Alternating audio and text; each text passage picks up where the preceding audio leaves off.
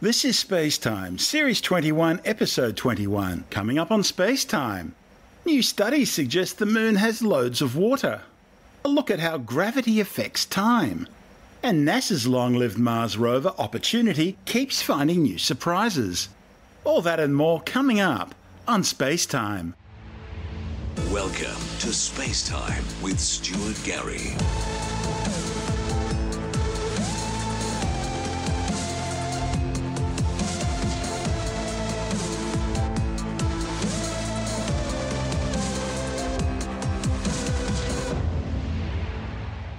A new analysis of data based on two lunar missions has found evidence that the moon's water is widely distributed across the surface and not confined to any particular region or type of terrain. The findings, reported in the journal Nature Geoscience, indicates that lunar water appears to be plentiful, though not necessarily easily accessible. The study could help researchers understand the origin of the moon's water and how easy it is to use as a resource. If the moon has enough water and it's reasonably convenient to access, future explorers might be able to use it as drinking water or to convert into hydrogen and oxygen for rocket fuel or simply oxygen for breathing. The study's lead author, Joshua Bandfield from the Space Science Institute in Boulder, Colorado, says regardless of what time of day or what latitude they look at, the signal indicating water always seems to be present. In fact, the presence of water doesn't appear to depend on the composition of the surface. The results contradict some earlier studies, which had suggested that more water was detected at the moon's polar latitudes, and that the strength of the water signal waxes and wanes according to the time of the lunar day. Because it's tidally locked with the same side always facing the Earth, a day on the Moon lasts 29.5 Earth days, the same time it takes the Moon to complete one orbit around the Earth. Based on the new findings, the authors suggest that water molecules can sort of hop across the lunar surface until they enter cold traps, these cold traps are located in the dark reaches of craters near the north and south poles. Now, in planetary science, a cold trap is a region that's so cold, water vapour or other volatiles which come into contact with the surface will remain stable, possibly for billions of years. The debates continue because of the subtleties of how the detection has been achieved so far. The main evidence has come from remote sensing instruments, which have measured the strength of sunlight reflecting off the lunar surface. You see, when water's present, instruments like these pick up a spectral fingerprint at wavelengths near 3 micrometers, which lies beyond the visible and in the realm of infrared radiation. The thing is, the surface of the moon can also get hot enough to literally glow, emitting its own light in the infrared region of the spectrum. The challenge, therefore, is to disentangle this mixture of reflected and emitted light. To tease the two apart, researchers need to have very accurate temperature information, Bandfield and colleagues came up with a new way to incorporate temperature information, creating a detailed model from measurements made by NASA's Lunar Reconnaissance Orbiter. The authors applied this temperature model to data gathered earlier by the visible and infrared spectrometer which NASA's Jet Propulsion Laboratory in Pasadena, California provided to India's Chandrayaan 1 lunar orbiter. The new findings of widespread and relatively immobile water suggest that it may be present primarily as hydroxyls, a more reactive relative of water composed of just a single oxygen and hydrogen atom, as opposed to normal water, which is H2O. The thing is, hydroxyl molecules don't stay on their own for long, instead, preferring to attach themselves to other chemicals. So the hydroxyls would therefore need to be extracted from other minerals in order to be used. The research also suggests that any water which is present on the moon probably isn't loosely attached to the surface. By putting limits on how mobile the water or hydroxyls on the surface are, scientists can help constrain how much water would reach the cold traps near the polar regions. Sorting out what happens to water on the moon could also help researchers better understand the sources of water and its long term storage on other rocky bodies throughout the solar system. The authors are still working out what the findings are telling them about the source of the moon's water. The results point towards hydroxyls and or water being simply created by the solar wind hitting the lunar surface. Though the team didn't rule out that the molecules could come from the moon itself, slowly released from deep inside minerals where it's been locked up since the moon was formed. You're listening to Space Time. I'm Stuart Gary.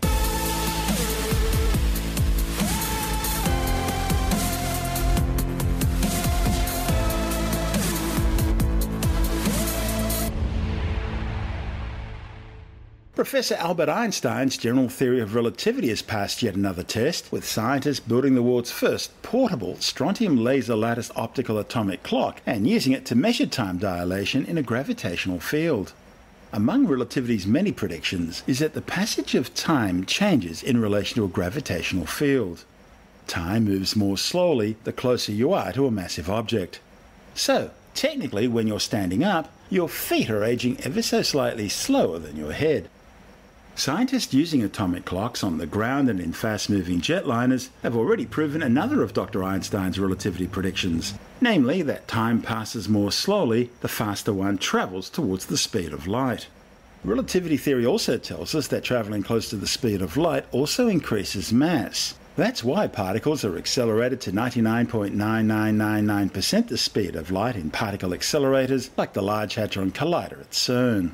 So it's logical that time should slow down near massive objects due to the relativistic geodesy field. We already know that gravity affects mass, which is why things never fall up, and that mass bends light, giving astronomers gravitational lensing. So, more accurate tests on gravity's effects on time are the logical next step. The effect, known as gravitational redshift, has been tested by scientists previously, but the new tests reported in the journal Nature Physics are the most precise and over a wider range than before. Strontium atom laser lattice optical atomic clocks can measure tiny oscillations in strontium atoms trapped by a lattice of lasers to within one second accuracy over 15 billion years. That's longer than the age of the universe. The portable version, mounted in a special temperature stabilized and vibration dampened trailer, isn't quite that accurate but it's still good enough to measure gravitational redshift at different locations and altitudes. Scientists first took the measurements at a laboratory in France and then 90 kilometres away in Italy, where there was a thousand metres difference in altitude. They used optical fibre links and frequency combs to accurately compare the data. The measurements were also compared to readings from a cryogenic cesium fountain atomic clock and a ytterbium optical lattice atomic clock. While scientists still have some bugs to iron out of the system, the measurements generally were consistent. To find out more, Andrew Dunkley is speaking with Dr. Fred Watson from the Australian Astronomical Observatory. Now, Fred, we're going to talk about time and atomic clocks and measurement, but um, people like me, the average person, uh, think about time in terms of our day to day lives. We, we live our lives in seconds, minutes, hours, days, weeks, months, years. And that's our concept of time. But uh, scientists see time in a very different way, and, and the universe uh, has different elements of time. Uh, and we've got this really fascinating story about the use of uh, atomic clocks to measure things. Now, atomic clocks you would normally associate with time. So, what are they doing here? You're right. You're quite right. To we uh, humans, uh, the passage of time is a fairly constant thing. But since the early part of the 20th century, when Einstein really revolutionized our thinking on time and space, we've known that time actually varies depending on what state you're in. And in particular, it depends on your state of motion, which is something that comes out of Einstein's special theory of relativity. Two people moving at different speeds will actually experience time in different ways. Really only becomes important when you're moving at nearly the speed of light, which you and I never do. No. Uh, so, so it's something that's fairly esoteric, but of course it comes very much into importance in things like the Large Hadron Collider, where you're whizzing particles around at almost the speed of light. But the other way in which time is affected, and this came from Einstein's general theory of relativity in 1915, that is what's called the gravitational time dilation. So it means if you put a clock, you know, somebody watching it probably, in a gravitational field, for example, near the surface of the Earth, it will run slightly more slowly than if it is out in deep space. And it's not the fault of the clock. There's nothing wrong with the clock. It's simply that time itself slows down. The twin paradox. And yeah, uh, you've got right. two four year old twins. You send one of them into space for four years at uh, near the speed of light. He comes back eight years old, and the other one's 104. That's the yes, twin exactly. paradox. And it's, that is indeed. It's quite extraordinary. Out, that comes about because of the special theory of relativity, the fact that mm. things that are moving relative to one another have experienced time differently. But the gravitational one is really interesting because what it means is that for us folk here on Earth, time is actually running slightly more slowly than if we were just in deep space and kind of hanging around. So, is it possible to measure that? Because the difference is minuscule. It gets really significant when you're near something with huge gravitational potential like a black hole, but we aren't in a black hole. We're in a fairly normal sized rocky planet with modest gravity. Is it possible to measure that gravitational time difference? And the answer is yes. We've had for some time, probably about the last five years or so, incredibly accurate atomic clocks. The, the current versions are called strontium lattice clocks, and they exist in some of the laboratories in the world. They're accurate to something like one second in 30 billion years. It wow. is just extraordinary stuff. That's amazing. Which is kind of twice the age of the universe. No excuses for being late for work. No. Well, no, that's right. So, what has happened is that physicists, actually based in Germany, I think principally, have built a portable version of this strontium lattice clock that can be moved around. And what they've done is they've taken it up a mountain and they've compared the time that it records with the time on a similar clock, which is actually in a, a, lab in Torino in Italy. And what they're trying to do is show that because the Torino clock is about a thousand meters below the level of the mountain clock, there should be a difference in time. And in fact, that difference, the expected difference, is such that if you had, let me find the figure here because it's quite staggering. Mm. If you have two clocks differing in height above sea level by a thousand meters, you would expect one of them, the higher one, to run at a rate that in 10 years the difference between them would be 31 millionths of a second. so 31 millionths of a second is, is what you're measuring over 10 years. Yeah. Over a year, it would be three millionths of a second. But it proves but that the gravitational effect on time is real. That's right, if you can measure it. Mm. And I was going to say that such is the accuracy of these strontium lattice clocks that they have done. Yes, they've done it. They've measured that difference. They haven't got it quite as accurately as the 31 millionths of a second per decade would suggest, but they can detect the difference between them in the rate of ticking of the atomic clocks. It's spectacular stuff. It is. Really quite remarkable. And this has been demonstrated in science fiction, and I'm going to refer to the movie Interstellar. Uh, well, that was a story about trying to find a way of getting humans to another planet because our planet was dying.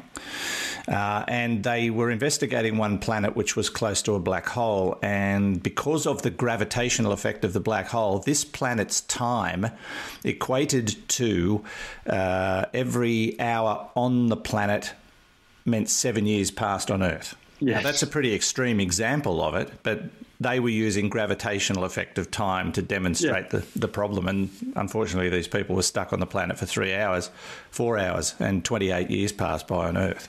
It's, um, yeah, it looked that, that is a, a, really interesting example of uh, of what we're talking about. I much prefer the 31 millionth of a second per decade issue. I can I can handle that. yeah, yeah, we, we can handle that. That's yeah. right. At least no, you're not great. going to get questions about where the hell have you been. But it is interesting stuff, though, in, in terms of demonstrating the validity of uh, Einstein's general theory of relativity. Once again, it's fantastic proof that he was right on the money with his time dilation, gravitational time dilation. Yeah, and I suppose it also draws attention to just how incredibly intelligent he was because he didn't have the tools that we've got no. today. He he he would have had to do a lot of thinking, a lot of hard thinking to come up with some of these concepts. So he was, a, he was an extraordinary man. Indeed, he was. Mm. Indeed, he was. That's Dr. Fred Watson from the Australian Astronomical Observatory speaking with Andrew Dunkley on our sister program, Space Nuts. And this is Space Time. I'm Stuart Gary.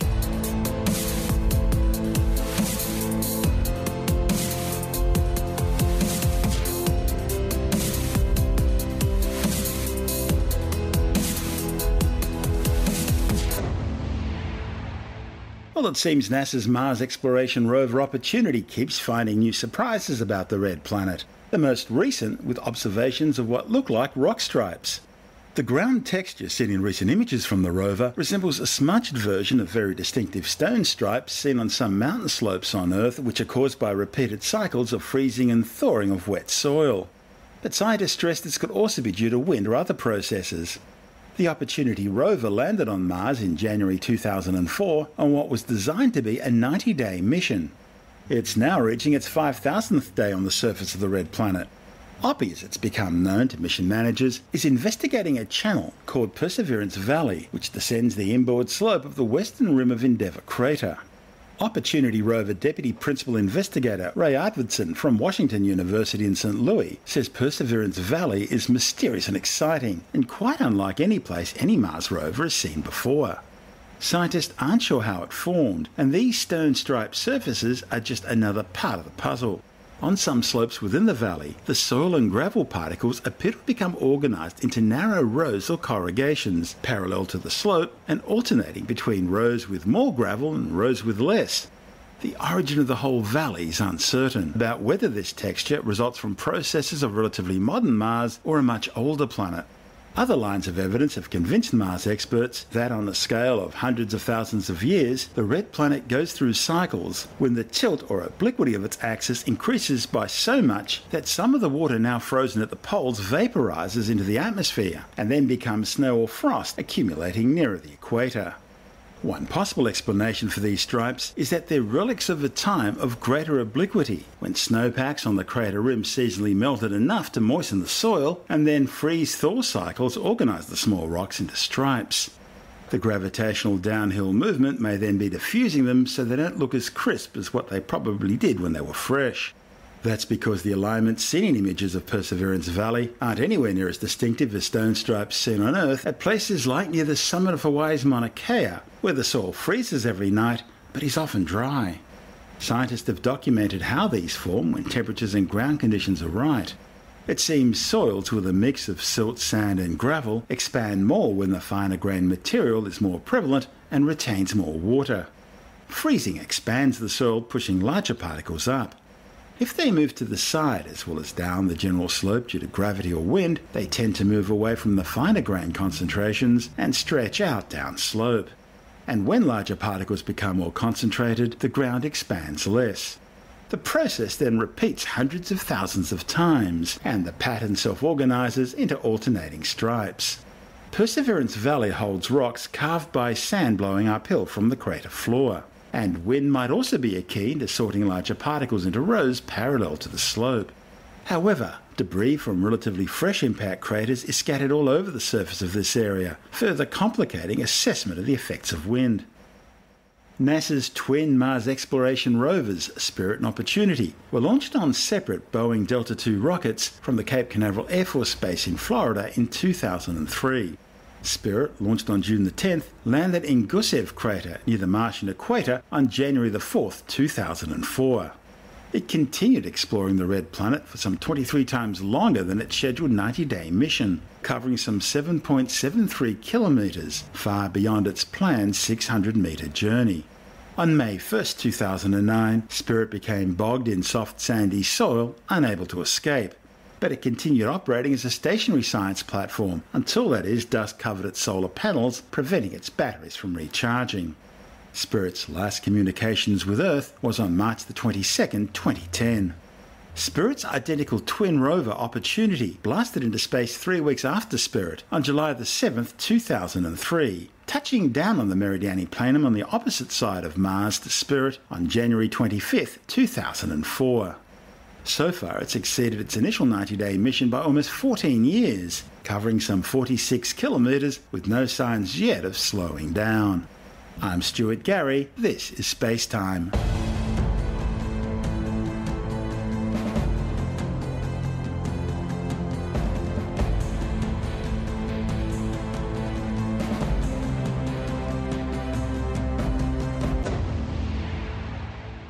And time now to take another brief look at some of the other stories making news in science this week with the Science Report. And a new study by scientists at Sydney's Westmead Hospital has found that vitamin D may help prevent heart failure following a heart attack. The findings, reported in the journal Heart, Lung and Circulation, indicate vitamin D may help protect heart tissue and prevent heart failure after a heart attack, potentially offering a low cost addition to existing treatments for heart failure. Researchers found that 125D, a form of vitamin D, interacts with hormones on cells that form scar tissue following a heart attack. These cells, called cardiac colony forming unit fibroblasts, prevents excessive scarring and thickening of heart tissue after a heart attack. Heart attacks occur when blood supply to the heart is blocked, leading to tissue damage. This triggers an inflammatory response where the fibroblasts replace the damaged tissue with collagen based scar tissue. The problem is this scarring can reduce the heart's ability to pump blood efficiently, potentially leading to heart failure. A new study by NOAA, America's National Oceanographic and Atmospheric Administration, has confirmed that climate change being caused by the use of fossil fuels has now triggered the fastest decline in Arctic sea ice in the last 1500 years. The new findings show that the days when the Arctic Ocean would reliably freeze over every year are now over. In fact, the Arctic is going through the most unprecedented transition in human history, warming at twice the rate of the rest of the planet according to both satellite readings and ice core samples. Despite the claims of the fossil fuel industry and climate change deniers, the latest observations show that Arctic sea ice for the month of January has reached a new record low. And right now, the planet has the least amount of sea ice since satellite record keeping began in the 1970s. And the thing is, many animals, including polar bears, depend on the ice to survive. Polar bears hunt seals on frozen ice and have few food resources on land. Because of this, starving polar bears are becoming an increasingly common and tragic sight. And as the highly reflective sea surface ice melts, the darker ocean is exposed, which traps more heat, causing even more melting. A feedback loop is underway. Now, when sea ice melts, it doesn't change sea levels. But the thing is, that extra heat's also melting ice on land, and that's causing sea levels to rise. Problem made even worse by water temperatures increasing, causing the water to physically expand, and again causing a rise in sea level. A new study claims teens who get support from and are involved with their schools, communities, and families, and have friends who are also community minded, are more than twice as likely to always use condoms during sex. The findings, reported in the Australian and New Zealand Journal of Public Health, are based on a survey of 1,700 high school students. The students were all in the same year, form, or grade and aged about 16. The study also found that kids who have goals and aspirations for their life were also more likely to use prophylactic protection during coitus. And while we're on the subject of teenagers, a new study claims the key to lifting teenage moods could be sitting in the kitchen pantry. Scientists at Murdoch University have found that the spice saffron works as a natural treatment for mild depressive and anxiety symptoms in adolescents. The findings are reported in the journal Affective Disorders. You're listening to Space Time. I'm Stuart Gary, and that's the show for now. You can subscribe and download Space Time as a free twice weekly podcast through Apple Podcast iTunes, Stitcher, Bitesz.com, Pocket Casts, SoundCloud, YouTube, Audio Boom, from spacetimewithstuartgary.com, or from your favorite podcast download provider. Spacetime's also broadcast coast to coast across the United States on Science 360 Radio by the National Science Foundation in Washington, D.C., around the world on TuneIn Radio, and as part of Virgin Australia's in flight entertainment. If you want more space time, check out our blog where you'll find all the stuff we couldn't fit in the show, as well as loads of images, news stories, videos, and things on the web I find interesting or amusing. Just go to spacetimewithstuartgary.tumblr.com. That's all one word and in lowercase, and that's Tumblr without the E. You can also follow us on Twitter through at Stuart Gary. At Spacetime with Stuart Gary on Instagram and on Facebook, just go to www.facebook.com slash spacetime with Stuart Gary. Spacetime is brought to you in collaboration with Australian Sky and Telescope magazine, your window on the universe. You've been listening to Spacetime with Stuart Gary. This has been another quality podcast production from Bitesz.com.